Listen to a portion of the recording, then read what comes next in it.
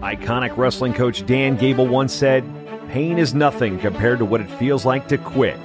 Give everything you've got today, for tomorrow may never come. Gable could be describing those whose achievements have earned them the honor of being inducted into the National Wrestling Hall of Fame. Etched in Stone, the stories of wrestling's legends will take you inside the lives of over 200 of the greatest wrestlers in history as they share their never before told stories about their trials, tribulations, and triumphs. Competitors, coaches, teammates, and those who knew these athletes best will also weigh in on their accomplishments with their own unique perspectives. Welcome to the show, folks. You're listening to The Smiths on the Etched in Stone series. My name is Ryan Warner. I'll be your host. So let's get started. After John won his first Olympic gold medal at the 1988 Summer Games, he continued his assault on international wrestling. In the following year, he won another world championship and, in an all star meet, beat Soviet legend Sergei Beloglazov. He was on top of the wrestling world with no signs of letting up. Here we're looking at him right now. What a record he has had. Two world championships, one Olympic championship. John Smith, again, proving why he's one of the best amateur John athletes. Smith, who just well may be the best American wrestler of all time. He's by far the hottest wrestler in the United States. When John Smith would show up in, in, in the late 80s, early 90s, it was money in the bank. This is Rich Bender, CEO of USA Wrestling. But John had that that string of four or five years where it didn't matter. I mean, it didn't matter what you know. He could have everybody piled up in his side and and back to back have to beat the best guys in the world and, and would would do it. But he was absolutely money in the bank in that in that time frame. To wrestling fans, John Smith seemed invincible. But as he entered the 1990 season, trouble lurked ahead. John Smith. John Smith. John Smith. Probably the greatest wrestler we've ever had in the United States. He took him down! I see a bundle of intensity. I find a way to win. It seems incredible that a family can do that well. Three NCAA champions, the only family to ever do that. It just seems one brother after the other tries to outdo the one before him. A big win for young Pat Smith. Pat Smith, the number one seed and defending champ from Oklahoma State. It was, you know, a wrestling life. You're listening to The Smiths, Episode 5. My name's Ryan Warner. I'll be your host. Now, last episode, we focused on Pat, but this time, we're going to pivot back to John. And the reason being is that after John won his first Olympic gold medal, he developed a new rivalry that would change the rest of his career. So let's pick this story up in February of 1990. At the time, John was the face of USA Wrestling and flying as high as ever. His wrestling camps were selling out as he traveled the country teaching kids a low single. Mark Branch was one of the thousands of kids who attended a John Smith camp. Yeah, I mean, he was he was at that um, kind of that I, I guess you would say that untouchable level, meaning um, you know John John was so big that when you go to camps, you, you didn't really ever get to say hi or talk to him or shake his hand. I mean, it was it was like in and out celebrity status, right? You come in, show a low single leg, and then walk out, and, and kids were like, you know, ah. It was just exciting. I just remember those earlier years. It was exciting going to, you know, you walk into 400 kids and their eyes are on you, and you're like, wow, you know, what what did I do? You know, well, you won a world championship, John. He also dropped an instructional video. Hello, my name is John Smith. How low can you go? The low single leg. That's what I'll be covering in this video. And that's when the money began to pour in for John. Between the camps, the VHS tape, and his custom shoes, he was flush with cash. It was just real exciting to me, and, and there was a level of, of of me that was just like, I want, it's this is I'm making some real money, you know, and I never had money. And I think anytime you're making some money, real money, it's exciting. You know, it's it's it's you know, you just don't want to make the wrong mistakes, take the wrong steps, you know. And I did that. But as John's bank account and his popularity grew, that fire on the inside that had driven him for so many years was starting to fade. And no one can explain this to me because no one's been where I've been. it's tough to get motivated now. To get up every day like you've been doing in the past, to train as hard as you've always trained, to win a world champ because you've already won one. That don't mean I don't love the sport and I want to retire. I want to wrestle. I don't want to train as hard. Those are words you typically don't hear from John Smith. And his coach Bruce Burnett was worried. He had a lot of other things on his plate. First off, you, you live pretty meagerly, you know, as an elite athlete, especially back then, you know. And so, and all of a sudden, he's able to make some money and do some things uh, that he wasn't able to do before. I think that that draw hurt him a little bit. But nevertheless, Bruce and John flew to Cuba for an early season tune up tournament. I didn't want to go either, by the way, and, and um, I was told to go, basically. Well, I, honestly, so here's the deal with Cuba. First off, the time of the year that wrestlers go down there, usually it's cold at home, and they get to go to Cuba. And I hate to tell this, really, but I'm going to say 60, 70% of those guys that go down there are pretty big on buying some cigars and bringing them back. And so I don't think the mindset going down put them in the frame of mind that how important it really is. Honestly, we were pretty concerned about whether or not we were going to get lobster after the matches, you know, the guy selling lobster on the beach. And so it's not the most difficult of all the the international tours that you can take. That's what I'll say you know that I think Italy would be there and Canada was at the tournament, but really you went down there to wrestle the Cubans because they were the toughest ones in the group. Now, Cuba produces some of the best wrestlers in the world, a skill they learned from their longtime ally, the Soviet Union. Russians turned out in thousands to show the world, and America in particular, that Nicky loves Fidel. President Castro had the red carpet treatment all the way to the Red Square. But by 1990, the Soviet Union was in the early stages of crumbling, and foreign aid to Cuba had long been cut off. Alongside evidence of great wealth, exists poverty, as grinding as can be found anywhere on the face of the earth. The situation in Cuba was bleak, and John was ready to get back to the States. But first, he had to wrestle in the Cerro Pelado tournament.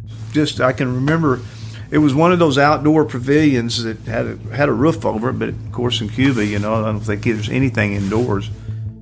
Wrestling in that outdoor pavilion, John limped through the early rounds of the tournament and made it to the finals, where a young Cuban named Lazaro Reinoso awaited. For Cuba, Lazaro Reinoso. As the match started, John jumped out to an early lead, scoring a takedown with the low single. He continued to press the pace, but was stifled by the Cubans' defense. Yeah, there was a there was a conflict of style between he and I. I mean, it was just just odd. He felt odd to me, you know.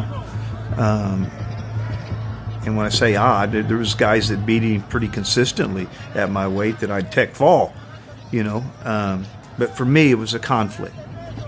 As the match went on, John became visibly frustrated with the ref. Every time he would shoot and seemingly score, the official would stalemate the hold and bring the wrestlers back to their feet. And then late in the match, Reinoso actually countered and scored off of one of John's shots, taking the lead.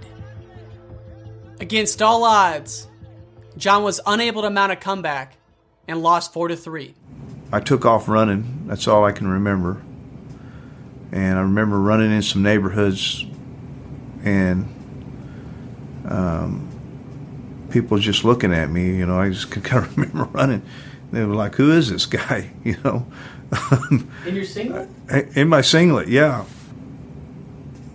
And I just remember, you know, running right out and running. I don't know, three, four, five miles trying to you know w- you know what just happened and um, and of course I'm done I'm quitting I'm done with this. This is you know what what are you here you're not even motivated. You didn't even want to be here. The following day John boarded a flight back to Stillwater. He'd be alone with his thoughts for the next six hours. You know, I think you walk off the mat and there's things that you you know you've heard and you said and people say you know I should have won that match. You know I don't think I ever walked off the mats and said I should have won it. You know I walked off the mat and I kind of explained a little bit why didn't I win, yeah. right? And and I always had the answers to why. And so you, you, immediately you move forward from it. You follow me? Yeah, I mean, and why was always back on me, not because uh, I didn't. I had a coach that didn't show up to practices, or I had partner. My partners wasn't. Cause it was never any of that. That's that's BS. That's bullshit. You know, it always was. Listen, you didn't you didn't stay focused for long enough. You you know you you let your you let yourself you know slip away with your diet. You cut too much weight coming into this event. You did, you know, there was always I could answer it. So there wasn't a level of anger. There was a level of thought, you know. But but mad the next day, uh-uh. motivated the next day, excited about what I need to do, where I need to go. Uh, if you figured out some things, I, I'm better because of this loss, you know. And all of a sudden, there's a level of excitement that comes from all that, you know. After John returned from Cuba, he sat down at his kitchen table, journal in hand, and wrote out the changes he needed to make in order to regain his status as world's best wrestler. The first change was setting a budget. And one of the things I did was I took I lived on $1,000 a month for the rest of that my career. And I just made a point that uh, if I'm going to train and try to be the best, um, I need to put myself in that atmosphere where it allowed me to do that. And, and living um, minimal was important to me. Um, $1,000 a month in, in 89, 90 is a lot of money, you know. Um, and it was enough, right? But uh, it doesn't allow you to just run off and go do things that that you that maybe I was doing a little bit of, you know, fly fishing, certain spots in the world, and doing some things, you know, that kept me grounded and um, and you know, it just you know, it kind of just kind of refocused me in on just the things that that I really love, and that's winning. You know, that's wrestling and winning. You know, um, you can't buy anything. You know, no matter what kind of money you make, you can't buy anything. You can't buy uh, uh, medals. You know, you can't buy uh, that that great feeling of training and and feeling feeling the um, the excitement of I'm getting better and I'm developing, which happened at that time for me. You can't buy that. No money's going to buy it, and so let's let's slow down. And I, I say a thousand dollars, I probably spend a lot less. After the budget was set, John changed his summer camp schedule so that it was relegated to non-training camp weeks. The youth of America would have to watch how low can you go if they wanted to learn the low single. My my time, I got real stingy with it after that loss in Cuba. You know, I got real stingy and going, "What are you doing here? What are we going to do here?" and then I'd, I'd, I'd, do maybe a few few a year, and I, I really backed way off of it because. Um, it's a grind. Well, it was a grind, and it's hard. You know, you, you're you're getting offered some some money that's just like you know that's that's a real difference. You know, I can buy more land. You know, um, and um, but it, it ended that that it ended in in Cuba. I backed way way off. John was re-entering the selfish world where the priorities were simple training, diet, and sleep. It's, it's a self centered world, it's, it can be a selfish world. I, I, I, think when, when you're when you're in the process of trying to win a world championships, or win an Olympic gold medal, or you're going to win the NCAA's, if you're not focused on yourself and what your needs are and what you need to do to win that, uh, I think you're making a mistake. That's Doc Bennett. He was one of the few people inside John's inner circle. I always felt, and I, have told athletes, and you know that that hey, there's a time to be selfish and there's a time to pay back, and the time to pay back is when the journey is over, and you've got the time to really put into dedicating yourself to doing that in a proper fashion. John's selfishness was most pronounced during his twice a day workouts. Kendall Cross was now training for the Olympics himself and was one of John's main workout partners. You know, the thing about it was it wasn't terribly fun um, to to work out with him because he was a little bit stingy on his drills. So John would drill the low single maybe 20 times without letting Kendall take a shot. Yeah, you gotta say something. You gotta say something. Like, hey, it's my turn. you know, oh, oh, okay. He, he's he's cordial about it, you know. Like, but if you let him, he'll um, take his, you know, 22 shots and then turn it over to you. You know, the way I look at it, he he he drilled um, paying attention to time versus paying attention to how many times he shot. You know, it wasn't three and three. It was you know, it wasn't two and two. It was I'm drilling, you're drilling. I'm drilling, you're drilling. You know, and it would escalate into to a bit of a spar. You know, that was typically the way it happened. Sparring with John Smith was a gruesome affair. He approached every workout as if he was wrestling Reinoso. John was brutal because he um, had to have points. He had to be the one to score. Um, would get upset if you scored, and um, and he wouldn't be uh, you know out of bounds to uh, tweak a knee um, to get to a finish and score in practice. There was just no let off, you know, no letting off. And it didn't matter who he was wrestling college kids, coaches, he was relentless. Just ask Bruce Burnett, one of John's coaches. I told Mike Sheets one day, I said, you know, I, I think I'm going to really try to beat John today in a match. He wants to go three or four matches today, and I think I'm going to try to, I'm going to really try to win.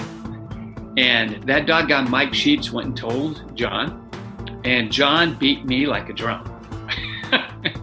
and I, I looked over in the corner, and I saw Mike Sheets just smiling you know, I don't think John had ever beaten me that bad, but boy, he, I think Mike told him, and uh, I really took a beat down on that, on that day. But uh, John could do that. He could turn it up and turn it on. You know.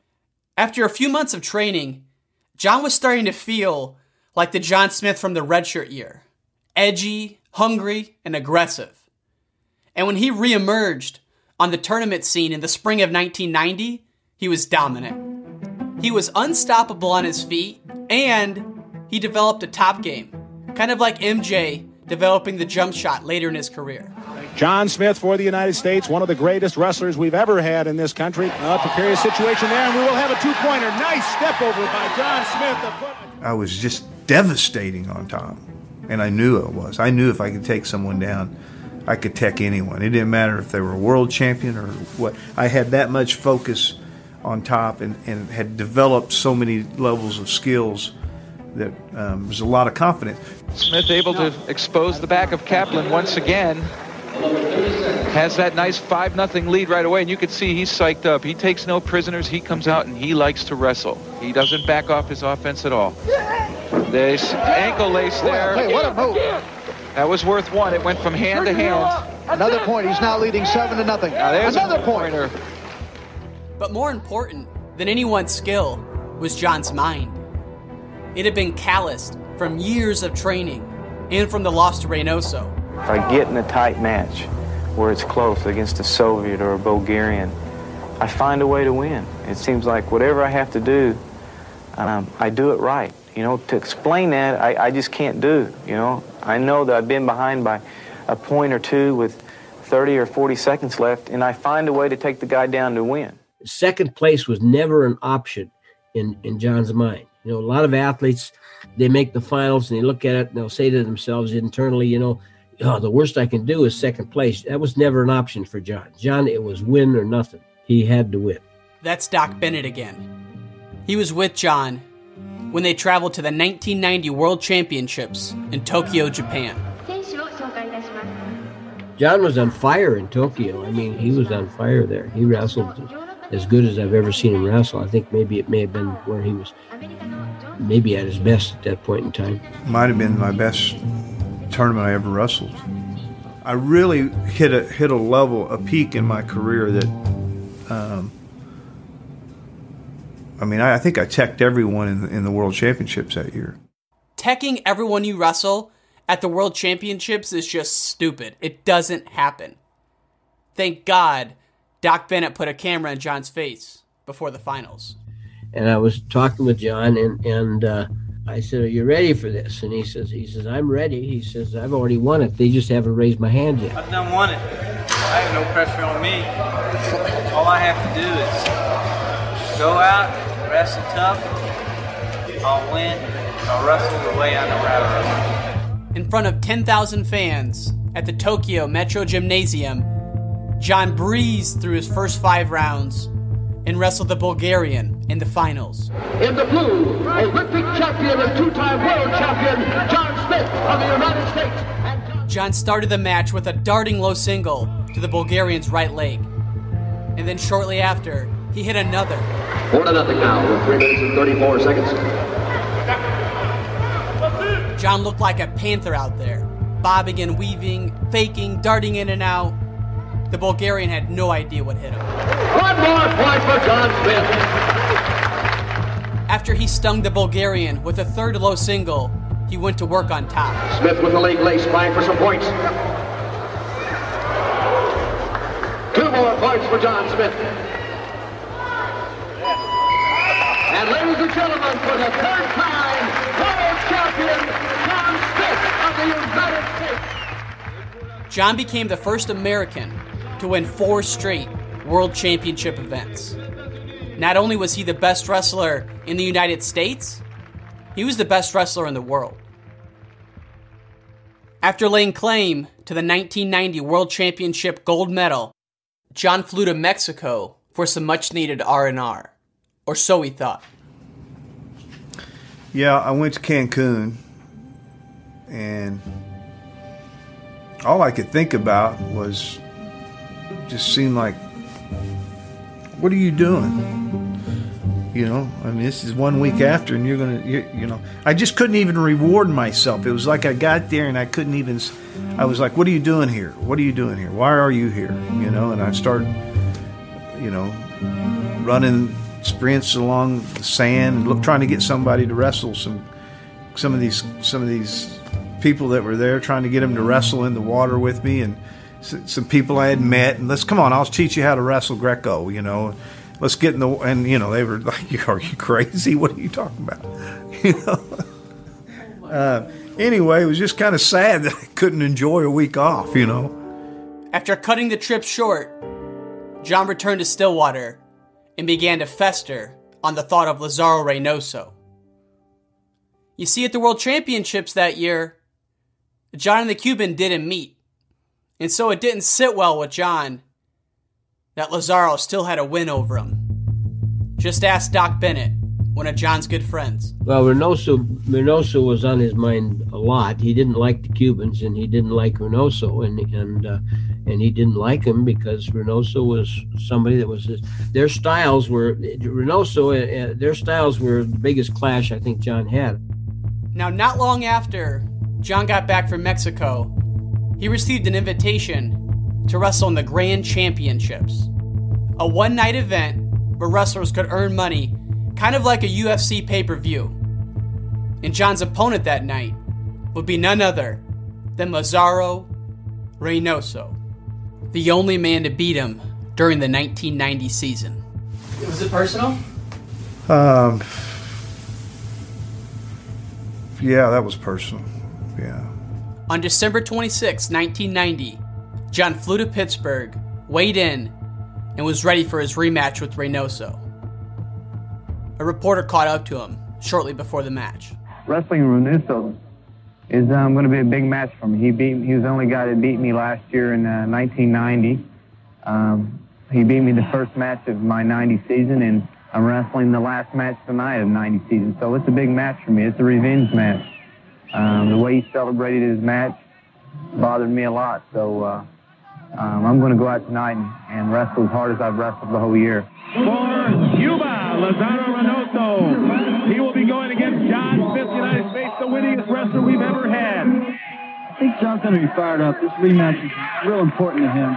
He should have never lost to this guy. He lost to him in Cuba. The match opened with John scoring and turning the Cuban to take a 2 0 lead.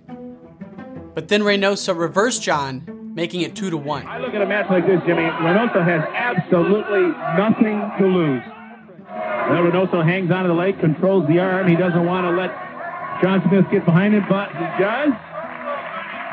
Scores another point to extend his lead to 3 to 1. Not content simply to win, John continued to punish Reinoso. Well controlled, nice little chuck by there by John Smith. It should get him one point for the takedown. Up 10 to 1 with less than 50 seconds left, John kept pushing. He wanted to humiliate Reinoso. There it is. And a two point. Oh, nice changeover. Oh, and he's arm trapped again. Putting little display for us here at the end. John Smith of the United States will win this match. A flurry of action at the end. I think it will be 15 to 2. A great match tonight, John. How important was this match to you?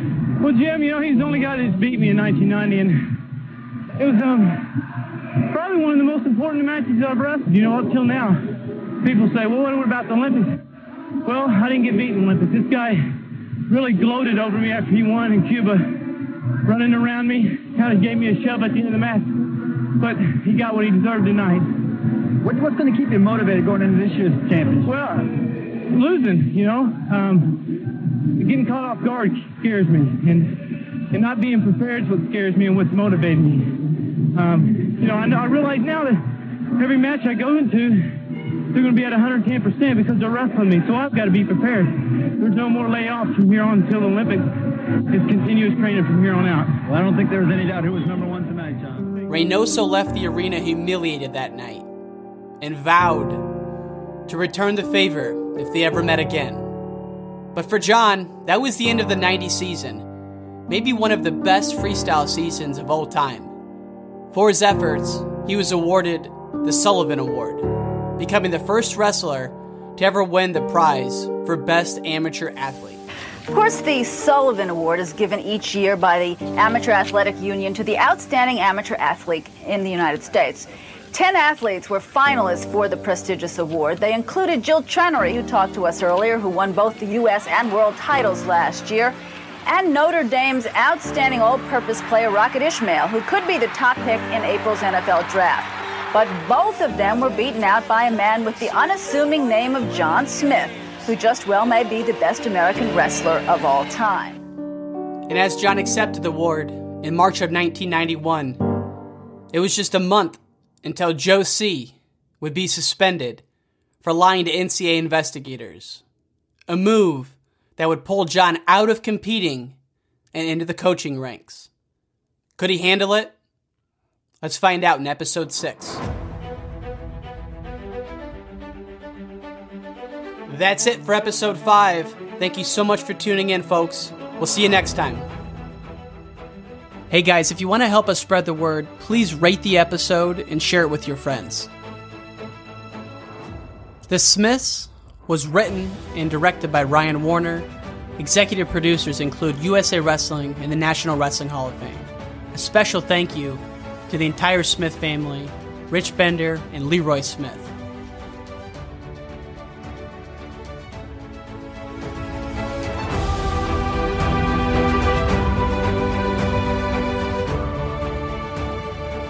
Etched in Stone is an exclusive production of the National Wrestling Hall of Fame and USA Wrestling. Download your free souvenir book of any of the Etched in Stone stories produced at nwhof.org. The storybook includes the written story and is filled with pictures and videos of their live matches. And while you're on the website, take a deeper dive into the profiles of the 179 distinguished members inducted into the National Wrestling Hall of Fame.